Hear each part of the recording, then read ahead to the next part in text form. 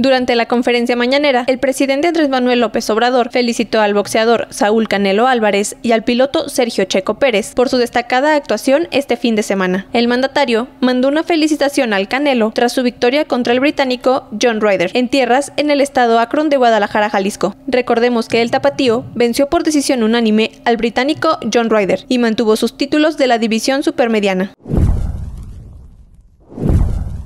Tengo la información que le pagaban más en Las Vegas,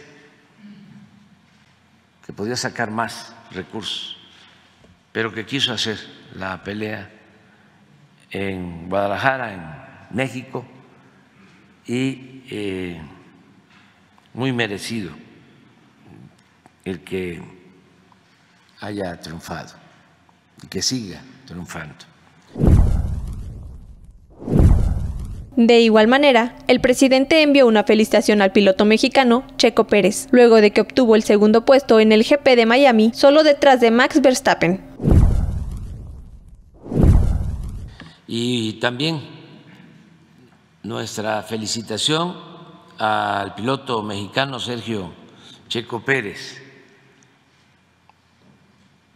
que quedó en segundo lugar en el Gran Premio de Miami y está eh, este extraordinario piloto eh, poniendo en alto también el nombre de, nuestro país. Y le deseamos que siga triunfando. Con información de la redacción para 90 grados, Quetzali García.